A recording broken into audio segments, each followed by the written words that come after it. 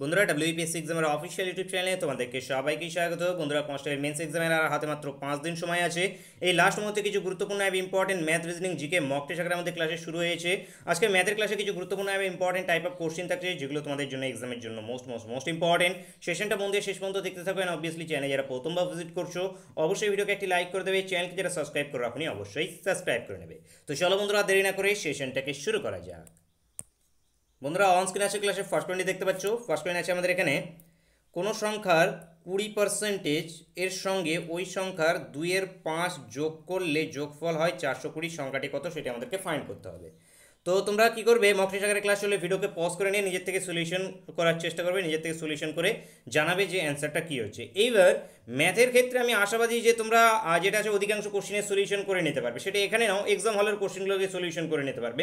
কিন্তু ম্যাথের ক্ষেত্রে ইম্পর্টেন্ট হল গিয়ে টাইম ম্যানেজমেন্টও করা তোমার এই কোশ্চেনটা সলিউশন করতে কতটা টাইম তুমি স্পেন্ড করছ সেটাই ইম্পর্টেন্ট সেই জন্য তোমরা এটাও যদি লক্ষ্য করতে পারো যে এই টোটাল দশটা কোশ্চেন আছে, দশটা কোশ্চেন তোমাদের সলিউশন করতে কতটা টাইম লাগছে, তাহলে তুমি বুঝতে পারবে যে আমার কতটা অ্যাকুরেসি লেভেল বেড়েছে মানে আমার স্পিরিট লেভেলটা কতটা এগিয়ে গেছে। তো সেটা যদি দেখতে পারো তাহলে তো খুবই ভালো হয়ে থাকে। তো দেখো কীভাবে সলিউশন করবে। তো যারা তোমরা নিজের থেকে সলিউশন করতে চাও, তোমরা ভিডিওকে পজ করে নিয়ে নিজের থেকে সলিউশন করবে। এখন যতটাই টাইম লাগুক, চেষ্টা করো যে অন্তত যদি টাইম দেখতে নাও পাও, তবুও চেষ্টা করো যে যত পারো স্পিডে যত পারো স্পিডে তাড়াতাড়ি সলিউশনটা করার চেষ্টা করো। তো দেখো কীভাবে করবে।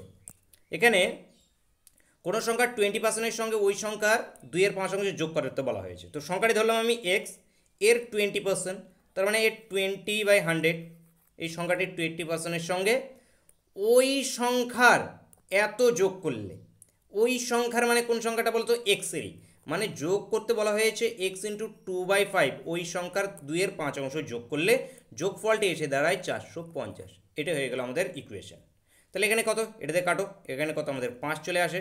এখানে টু এক্স এখানে এক্স তার মানে নিচে আসবে আমাদের ফাইভ এবং উপরে আসবে আমাদের three x three x by five তার মানে এখানে চারশো পঞ্চাশ ইন্টু ফাইভ তিনটে কাটো তিন পনেরো পঁয়তাল্লিশ, পাঁচ পনেরো পঁচাত্তর, সাতশো পঞ্চাশ হবে answer option B. Option B বন্ধুরা, এখানে আমাদের কারেক্ট অ্যান্সার নেক্সট কোশ্চেন চলো। নেক্সট কোশ্চেন দেখো। কী বলা হয়েছে এখানে? যেটা আছে তোমাদের, সাত হাজার দুশো একত্রিশের সঙ্গে কোন ক্ষুদ্রতম সংখ্যা যোগ করলে যোগফল পাঁচ এবং নয় দ্বারা বিভাজ্য হবে? মানে এই সাত হাজার একত্রিশ, এই যে সংখ্যাটা আছে, এই সংখ্যাটাকে সঙ্গে আর কত যোগ করলে কত যোগ করলে যে যোগফল আসবে সেটা পাঁচ দিয়েও ভাগ যাবে, আবার নয় দিয়েও ভাগ যাবে, দুটো দিয়েই ভাগ যাবে। তো কীভাবে করব আমরা? প্রথমে আমরা পাঁচ দিয়েও ভাগ যাবে এবং নয় দিয়েও যেহেতু ভাগ যাবে, তার মানে নিশ্চয়ই এই দুটোর লসাগু দিয়েও অবশ্যই ভাগ যাবে। তাহলে এই দুটোর লসাগু কত আমাদের? পঁয়তাল্লিশ। এই দুটোর লসাগু কত হবে? পঁয়তাল্লিশ। এবার আমি দেখব এই পঁয়তাল্লিশ দিয়ে এই সাত হাজার দুশো একত্রিশটা এক্স্যাক্টলি ভাগ যাচ্ছে কি যাচ্ছে না? কারণ বলা হয়েছে ভাগ যেতে হবে এক্স্যাক্টলি তাহলে আমি দেখি এক্স্যাক্টলি ভাগ যাচ্ছে কি যাচ্ছে না, বা কত দূর পর্যন্ত যাচ্ছে। তো এখানে প্রথমে কত? ওয়ান দিয়ে দাও। পঁয়তাল্লিশ একে পঁয়তাল্লিশ। কত আসছে এখানে আমাদের? সাত, দুই, তিন। এবার কত দিয়ে দেবে? পাঁচ দিয়ে দিলে পাঁচ পাঁচটা পঁচিশ, চার পাঁচটা কুড়ি। ছয় দিয়ে দাও। পাঁচ দিয়ে দিলে আরও একবার যাবে। ছয় দিয়ে দাও। ছয় দিয়ে দিলে দেখো, পাঁচ ছয় তিরিশ, তিরিশে শূন্য। হাতে তিন, চার ছয় চব্বিশ, এবং তিনে সাতাশ। তার মানে আসলো কত? একত্রিশ। অবশিষ্ট কী থাকল আমাদের একত্রিশ। কিন্তু আমাদের কোশ্চিনে বলা হয়েছে এমন কোনো ক্ষুদ্রতম সংখ্যাকে যোগ করলে যাতে এটা পুরো এক্স্যাক্টলি ভাগ যায়। তাহলে এক্স্যাক্টলি ভাগ যাওয়ার জন্য এখানে আমি কত যোগ করতে পারি বলো তো কত যোগ করব এখানে? এই যে দেখো পঁয়তাল্লিশ দিয়ে যাতে এক্স্যাক্টলি ভাগ চলে যায়, তার মানে পঁয়তাল্লিশ দিয়ে পঁয়তাল্লিশ একে আরও একবার জানে পঁয়তাল্লিশ হয়ে যায়। তাহলে সেটা কত? এখান থেকে এটাকে মাইনাস করো। পঁয়তাল্লিশ মাইনাস একত্রিশ করলে কত আসবে আমাদের? ফোর ওয়ান চোদ্দ। এতে চোদ্দোকে যোগ করলাম। এই চোদ্দোটা পেলাম কি? এই যে এটার সঙ্গে এটাকে বিয়োগ করলাম। এটার থেকে এটাকে বিয়োগ করলে আমি চোদ্দ পেয়ে যাব। তো এটা দেখো এবার কত আসবে? ফাইভ ফোর এবার দেখো পঁয়তাল্লিশ, একে পঁয়তাল্লিশ। তার মানে কত যোগ করলাম? চোদ্দ যোগ করলাম। এখানে চোদ্দ যোগ করা মানে কি? সেই মেন সংখ্যাটার সঙ্গে চোদ্দ যোগ করতে হবে। তার মানে মেন সংখ্যাটার সঙ্গে আমাদের কত যোগ করতে হতো? চোদ্দ যোগ করতে হতো। অপশান ডি এখানে অ্যান্সার চোদ্দ যোগ করলে সেটি নয় এবং পাঁচ দ্বারা বিভাজ্য হয়ে যাবে। আশা করি বুঝতে পেরেছ। নেক্সট চল। নেক্সট দেখো। নিজের থেকে ট্রাই করবে অবশ্যই। ভিডিওকে পজ করে নিয়ে। কি বলা হয়েছে? এখানে এর লসাগু বের করতে বলা হয়েছে। তো লসাগুটা কীভাবে আমরা বের করব এখানে? পয়েন্টের লসাগু কীভাবে বের করে? তো পয়েন্টের লসাগু দেখো কীভাবে বের করতে হয়। ফোর বাই এটাকে কি? দশমিকে আছে? তাহলে দশমিকটা আমি তুলে যদি দিই, তাহলে কি আসবে? ফোর বাই একশো। দেখো, পয়েন্টের পরে দুটো এক আছে। তারপরে এখানে আট বাই দশ। তারপর এটা কত হবে? ষোলো বাই এই হাজার। এবার কাটো এখানে। পঁচিশ, দুই, এখানে পাঁচ, চার দিয়ে কাট সরি এটা চার হবে। দুই দিয়ে কাটবো, চার বাই পাঁচ। এটা আবার কত? চার দিয়ে কাটো, চার, চারে ষোলো। চার দিয়ে কাটলে চার পঁচিশ মানে আড়াইশো। তাহলে এখানে ভগ্নাংশগুলো কত আসলো? একের পঁচিশ, চারের পাঁচ এবং চারের দুশো পঞ্চাশ। এবার দেখো, ভগ্নাংশ লসাগু গসাগু কিন্তু তোমাদের আমি শিখিয়েছি। ভগ্নাংশ লসাগু গসাগু কীভাবে হয়? এর লসাগু আমরা বের করব মানে কি? উপরে যে সংখ্যাগুলো আছে, তাদের নেব লসাগু। উপরের সব সংখ্যার লসাগু কত? চার। নিচেরগুলো সবগুলোর কী নেব আমি? সবগুলো নেব গসাগু। সবগুলোর গসাগু কত? দেখে বুঝতে হবে। এখানে এখানে আবার যদি তুমি এই পঁচিশের সঙ্গে পাঁচের গসাগু এভাবে যদি বের করতে চাও তো অনেক সময় লেগে যাবে। এখানে দেখেই বোঝা যাচ্ছে যে এখানে গসাগু কত হবে? আমাদের পাঁচ হয়ে যাবে। তো এটার জন্য প্র্যাকটিস হবে যত প্র্যাকটিস যার থাকবে বেশি, সে এগুলো তাড়াতাড়ি বুঝতে পারবে। এবার এখানে দেখো, আমাদের পয়েন্টে নিয়ে আসতে হবে। এবার পয়েন্টে কীভাবে নিয়ে আসব? এবার পয়েন্টে কীভাবে নিয়ে আসব? তো পয়েন্টে নিয়ে আসার জন্য উপরে দুই দিয়ে গুণ করো, নিচে দুই দিয়ে গুণ করো। উপরেরটা চলে আসলো আট, নিচেরটা এসে গেলো দশ। দশ মানে কি? এক ঘর আগে পয়েন্ট মানে zero point zero point zero eight zero point eight zero point eight বা জিরো পয়েন্ট এইট যাই হোক। তো এই হয়ে গেল আমাদের জিরো পয়েন্ট এইট তাহলে অ্যান্সারটা কী হবে আমাদের? Option C zero point eight আশা করি বুঝতে পেরেছ, কোনো ডাউট থাকলে অবশ্যই কমেন্ট করে জানাবে। নেক্সট চলো। নেক্সট দাও কী বলা হয়েছে? একটি আয়তক্ষেত্রের দৈর্ঘ্য প্রস্থের তিন গুণ, উহার পরিসীমা যদি ছিয়ানব্বই মিটার হয়ে থাকে, আয়তক্ষেত্রের যেটা আছে, ক্ষেত্রফল হবে কত? ফাইন্ড করতে হবে। তো এই ধরে আমি আয়তক্ষেত্রটা নিলাম। এটা যদি আমাদের ধরে নাও প্রস্থ এদিকেরটা হয় এক্স হয়, দৈর্ঘ্য যেটা আছে থ্রি এক্সের পরিসীমা কত দেওয়া আছে? ছিয়ানব্বই। আয়তক্ষেত্রের পরিসীমা কী হয় আমাদের? টু ইন্টু দৈর্ঘ্য প্লাস প্রস্ত মানে টু ইন্টু ফোর এক্স এটা ইজিকাস টু আছে ছিয়ানব্বই। তার মানে এইট এক্স ইজিকাস টু ছিয়ানব্বই। তার মানে এক্স ইজিকাস টু কি? আট বারো ছিয়ানব্বই। এক্সের ভ্যালু কত? বারো। এবার এর ক্ষেত্রফল ক্ষেত্রফল মানে কি? আবার দৈর্ঘ্য ইন্টু প্রস্ত দৈর্ঘ্য ইন্টু প্রস্ত মানে কি?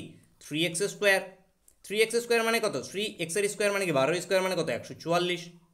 এবার একশো চুয়াল্লিশকে তিন দিয়ে গুণ করলে তিন চারে বারো দুই, হাতে এক, তিন চার বারো, একে তেরো তিন, হাতে এক, তিন চারশো বত্রিশ। এই হয়ে গেল অ্যান্সার অপশন ডি এখান থেকে কারেক্ট অ্যান্সার আশা করি বুঝতে পেরেছ। নেক্সট চলো। নেক্সট দেখো, কী বলা হয়েছে? যে সরল সুদের হারে কোনো টাকা নিজের কোনো টাকা নিচের পাঁচ গুণ হয়, কুড়ি বছরে তা হলো আচ্ছা। যে সরল সুদ হারে কোনো টাকা নিচের পাঁচ গুণ হয় যেটা আছে কুড়ি বছরে তা হলো। তো এবারে আমরা কী করব এখানে দেখো, কিছুই তো বলা নেই। শুধু দুটো জিনিস, একটা আছে পাঁচ গুণ, এবং আর একটা কী আছে আমাদের? টাইম। তো এখান থেকে দেখো কীভাবে বের করব। সরল সুদের অঙ্ক। তো আমি আসলটাকে প্রিন্সিপালটা ধরলাম এক্স সেটি কত বলা হয়েছে? টাকাটা পাঁচ গুণে পরিণত হয়ে যায়। টাকাটা কত? পাঁচ গুণে পরিণত হয়ে যায়। তার মানে অ্যামাউন্ট এসে দাঁড়ায় কত? ফাইভ এক্স এবার সরল সুদের ক্ষেত্রে কি হয়ে থাকে? সরল সুদের ক্ষেত্রে যে প্রিন্সিপাল সেই পেন্সিলটা পাঁচ বছর, দশ বছর, পনেরো বছর, কুড়ি বছর, যত বছরই যাক না কেন, যত টাকা তুমি জমা দিয়েছ, সেই টাকা সেম থাকে। শুধু এখানে কি? সুদটা বাড়তে থাকে, সুদটা বাড়তে থাকে। তার মানে এখানে সুদ ডাইরেক্ট সুদ ইজিকাস টু কত? ফাইভ এক্স মাইনাস এক্স এখানে আমাদের সুদের একটি ফর্মুলা আছে অ্যামাউন্ট মাইনাস প্রিন্সিপাল মানে সুদ আসল থেকে আসলকে বাদ দিয়ে দিলাম। তাহলে এখানে কি আসলো আমাদের? ফোর এক্স কোশ্চিনের টাইম দেওয়া আছে কত? কুড়ি বছর। এবার রেট অফ ইন্টারেস্ট আমাদের বের করতে হবে। খুবই সহজ। কি আমাদের? I is equals to four x p is equals to x R is equals to আমাদের বের করতে হবে টি ইজিকাস টু কুড়ি বছর বাই হান্ড্রেড এই এক্সের সঙ্গে এক্স কেটে গেল, কুড়ি দিয়ে এখানে কাটলে কুড়ি পাঁচ কুড়ি একশো, তাহলে আর ইজিকাস টু চার পাঁচা কুড়ি পার্সেন্টেজ রেট অফ ইন্টারেস্ট কত আমাদের? ডি কুড়ি পার্সেন্টেজ আশা করি বুঝতে পেরেছ? নেক্সট কোশ্চিন চলো, কী বলা আছে?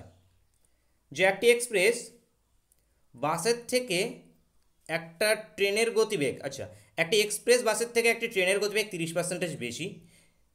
যে রাস্তা যেতে বাসের সময় লাগে চার ঘণ্টা কুড়ি মিনিট, সেই রাস্তা যেতে ট্রেনের কত সময় লাগবে সেটি ফাইন্ড করতে বলা হয়েছে। তো নিজের থেকে প্রথমে ট্রাই করো, ভিডিওকে পজ করে নিয়ে। দেখো যে কত তাড়াতাড়ি তোমরা করতে পারছ কোশ্চেনটার সলিউশন তারপর দেখে নাও যে আমি কীভাবে সলিউশনটা করাচ্ছি। দেখো, কি বলা হয়েছে এখানে? বাস এবং ট্রেন। তো বাসের যে গতিবেগ, তার থেকে ট্রেনের গতিবেগ বেশি।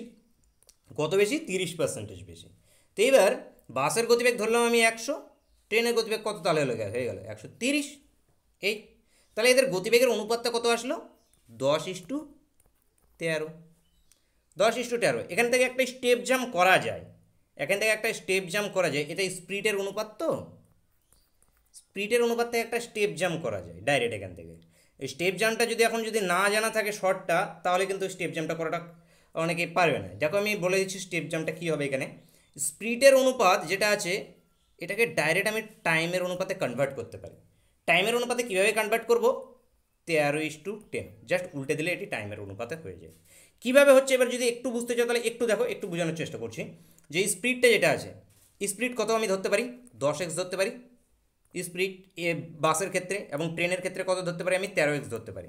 ডিস্টেন্সটা কি বলতো? ডিস্টেন্সটা কিন্তু দুটো ক্ষেত্রেই সমান। দেখো যে রাস্তা যে রাস্তা যেতে মানে একই রাস্তা ডিস্টেন্স দুটোর ক্ষেত্রেই সমান। তাহলে দুটোরই ক্ষেত্রে আমাদের ডিস্টেন্সটা কি? ডি ডিস্টেন্সটা কি? দুটোরই ক্ষেত্রে ডি তার মানে এই বাসের এবার টাইম ডিস্টেন্সটা কি? ধরলাম ডিটা আমি এক্স ধরলাম দুটোরই ক্ষেত্রে। এক্স না? এক্স একটা কোয়ান্টিটি যেহেতু আছে, তাহলে ওয়াই ধরলাম। তাহলে টাইম কি লাগবে বলতো? বাসের যেতে টাইম লাগবে। বাসের স্পিড কি? দশ এক্স এবং ডিস্টেন্স এত। এবং তাহলে টাইম কত? টাইম ইজ কি? ডিস্টেন্স বাই স্পিড এই। ঠিক এই যে is to distance by speed তেরো এক্স এবার দেখো এটা, এটার সঙ্গে এটা কাটবে, এগুলো তো কেটে যাবে। এদিকে চলে আসবে তেরো, এদিকে চলে আসবে টেন তো এই ডাইরেক্ট এখান থেকে করা যায় যে স্পিডের অনুপাত থাকলে টাইমের অনুপাত জাস্ট উল্টে দিলেই হয়ে যাবে। এই, তাহলে এখানে টাইমের অনুপাত এই যে পেয়ে গেছি এবার দেখো, এখানে কি বলে যে বাসের সময় লাগে চার ঘণ্টা কুড়ি মিনিট। তাহলে বাসের টাইম কোনটা? এই যে তেরো। তার মানে ধরে নিলাম বাসের টাইম লাগছে তেরো এক্স দশের এবং ট্রেনের টাইম লাগছে দশ তাহলে তেরো এক্স ইজিকাস কত? চার ঘণ্টা কুড়ি মিনিট। চার ঘণ্টা কুড়ি মিনিট পুরোটাই যদি আমি মিনিটে কনভার্ট করি তাহলে এখানে আমাদের কত আসবে? চার ছয় চব্বিশ, দুশো চল্লিশ প্লাস কুড়ি মানে দুশো ষাট। তাহলে এই আসলো দুশো ষাট। তাহলে এক্সের ভ্যালুটা কত আসলো আমাদের? দুশো ষাট বাই তেরো। তেরো দিয়ে কাটো, তেরো দুগুণে ছাব্বিশ মানে কত? এটা ইজিকাস টু এক্সের ভ্যালু কুড়ি। তাহলে এক্সের ভ্যালু কুড়ি এটা কি? এই এক্সের ভ্যালু এবার এই দশ এক্সের এখানে বসিয়ে দাও। দশ এক্সের মানে কি? ট্রেনের গতিবেগ। তার মানে দশ এক্স মানে ট্রেনের গতিবেগ কত? দুশো সরি ট্রেনের টাইম গতিবেগ তো আর নেই টাইম এটা। তো ট্রেনের যে টাইম সেটা হয়ে গেল কি? দুশো মিনিট। দুশো মিনিট মানে কত? ষাট দিয়ে ভাগ করে দাও। এটা কাটলো। ছয় দিয়ে কাটলে তিন ছয়ে আঠারো, উনিশ, কুড়ি। দুই বাই ছয়। দুই বাই ছয় ইন্টু ষাট করলে মানে এটার সঙ্গে দশ দিয়ে কাটবে মানে তিন ঘণ্টা কুড়ি মিনিট। তিন ঘণ্টা কুড়ি মিনিট হবে অ্যান্সার অপশান এ আসলে এই এই স্টেপ জানটা যদি করা জানা থাকে, তাহলে কিন্তু অনেক সহজে কিন্তু খুব তাড়াতাড়ি কিন্তু বের করে নিতে পারবে। এই যে না হলে কিন্তু তোমাদের আবার এই, এখান থেকে এই পুরোটা আবার বের করতে হবে যে টাইমের অনুপাত কত হচ্ছে বের করতে হবে। তো এখান থেকে আমাদের কী অ্যান্সার হবে? অপশান এ নেক্সট কোশ্চিন চলো। নেক্সট কোশ্চিন দেখো কী বলা হয়েছে। কোনো একটি যৌথ ব্যবসায় এবিসি এখানে তিন হাজার পাঁচশো টাকা লাভ করল। যদি এ ও বি এর মূলধনের অনুপাত এত হয় বি এবং সি এর মূলধনের অনুপাত যদি এত হয়, তাহলে লাভের এ এর লাভ কত হবে সেটা আমাদেরকে বের করতে হবে। তো দেখো, কীভাবে করবে? নিজের থেকে প্রথমে চেষ্টা করবে অবশ্যই। A is to B five is to two B is to C three is to two তো এদের আমি প্রথমে কি মূলধনের অনুপাতগুলোকে বের করে নেব, মূলধনের অনুপাতটা। তো মূলধনের অনুপাত A is to B is to C বের করব। কী করব এখানে? দেখো বি এর ভ্যালু দুটোতে দুটোতে বি কমন তো বির ভ্যালুগুলোকে কমন করে দাও। বি এর ভ্যালু কমন করার জন্য এখানে তিন দিয়ে গুণ করো, এখানে দুই দিয়ে গুণ করো। তাহলে তিন দুগুণ এটা ছয় হয়ে যাবে, এটাও ছয় হয়ে যাবে। বাকিগুলো কী হচ্ছে হোক?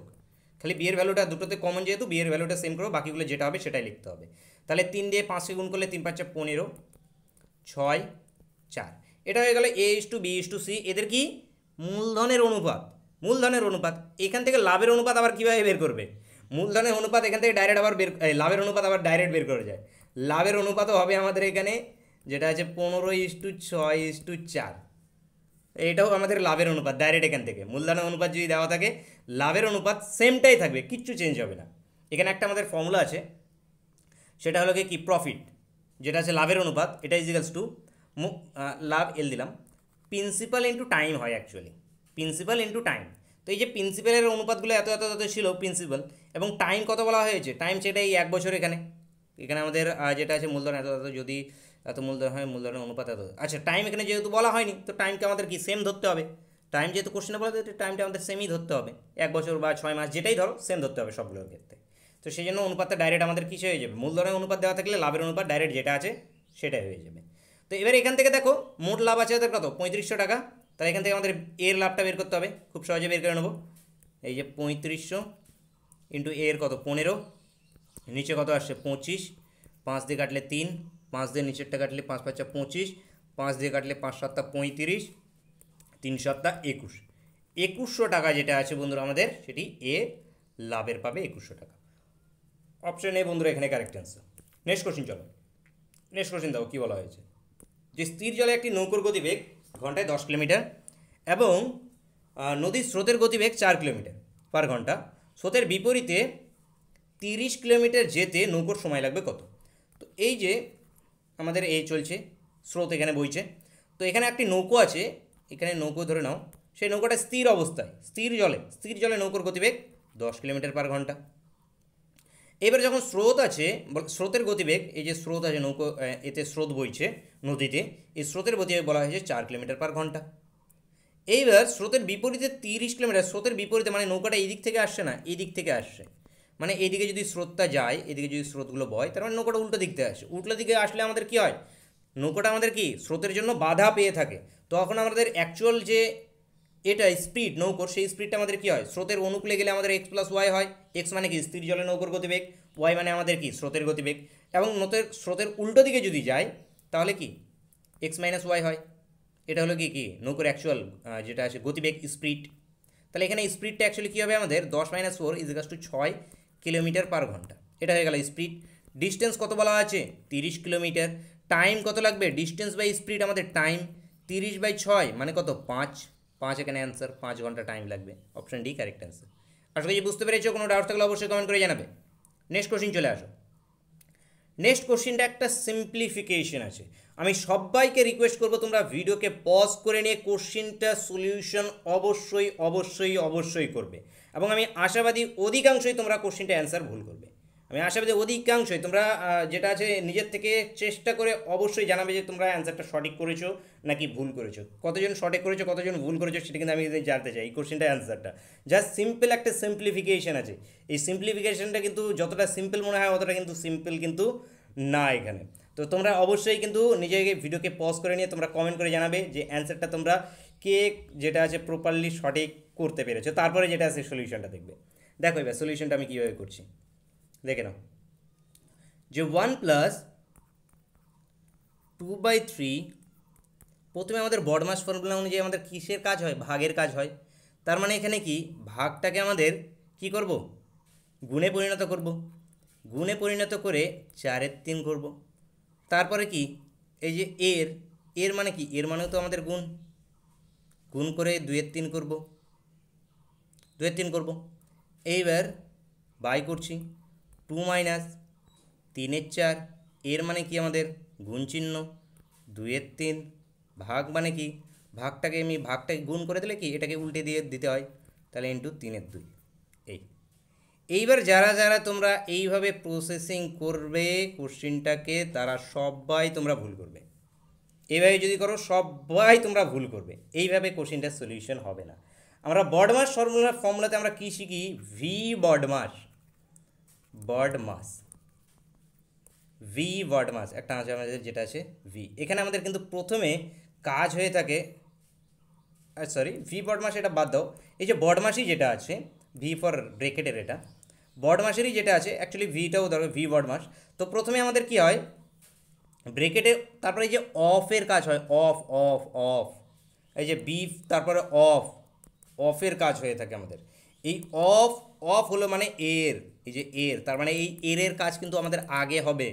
ভাগেরও আগে আমাদের কি? এই এরের কাজ হবে। এরের কাজটা আগে আমাদের কমপ্লিট করতে হবে, তারপরে আমরা ভাগের কাজে যাব। তো এইভাবে করলে কিন্তু অ্যান্সারটা তোমাদের ভুল বেরিয়ে আসবে। অ্যাকচুয়ালি এর সলিউশনটা তাহলে কী হবে? দেখো এর সলিউশনটা কী হবে? ওয়ান প্লাস দুইয়ের তিন ভাগ, এই যে তিনের চার, এইবার এর মানে কিন্তু ইনটুই কিন্তু যদি কোশ্চিনে উল্লেখ করে দেয়, এর তাহলে তার কাজটা আগে হবে। দুইয়ের তিন divide by two minus three by four এর মানে কি ইন্টু দুইয়ের তিন ডিভাইড বাই দুইয়ের তিন। এইবার এখানে কাটবো, এটা কত দুই, এটা কত এটা তিন, কাটে গেল, এটা গেল এটা গেল এটা গেল এটা গেল। তো আলটিমেটলি কি আসলো আমাদের? ওয়ান প্লাস দুইয়ের তিন ভাগ half divide by two minus একে দুই ভাগ দুইয়ের তিন। এই বেরিয়ে আসলো। এইবার আমাদের ভাগের কাজ হবে।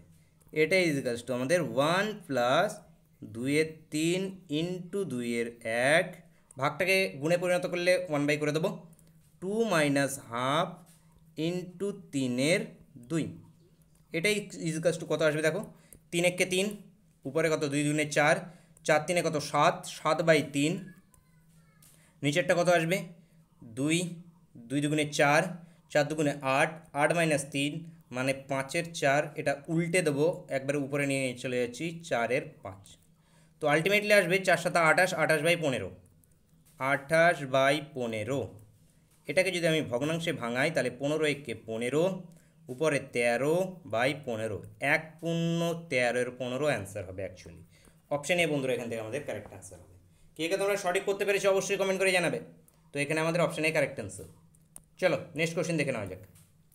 নেক্সট কোশ্চেন দুটো বিন্দু বলা হয়েছে।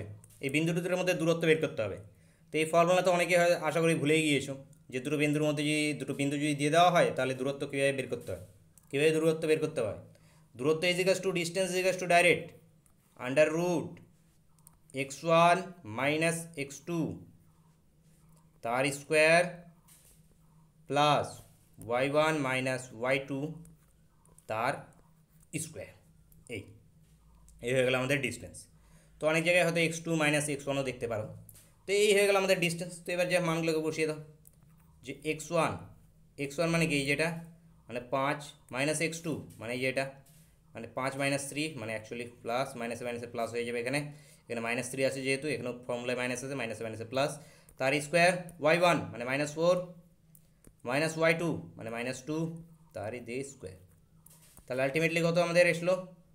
আটের স্কোয়ার প্লাস ছয়ের স্কোয়ার, এটা equals to root under hundred চৌষট্টি প্লাস ছত্রিশ মানে হান্ড্রেড এটা ইজিকালস টু টেন তো ডিস্টেন্সটা কত হবে বন্ধুরা আমাদের? ডিস্টেন্স হবে টেন অপশন ডি বন্ধুরা এখান থেকে অ্যান্সার আশা করছি সেশনটা মধ্যে শেষ পর্যন্ত অবশ্যই দেখেছ। ভালো লেগে থাকলে অবশ্যই এতক্ষণে লাইক করে দিয়েছ। যারা লাইক করনি, ফটাফট একটি লাইক করে দাও। চ্যানেলকে যারা সাবস্ক্রাইব করনি, অবশ্যই সাবস্ক্রাইব করে নাও। এবং ভিডিওর নিচে অবশ্যই কমেন্ট করে জানাবে যে তোমরা কতগুলো কোশ্চেনের সঠিকভাবে প্রপারভাবে সলিউশন করতে পারলে এবং যদি টাইমটা দেখে থাকো, তাহলে টাইমটাও অবশ্যই জানাবে।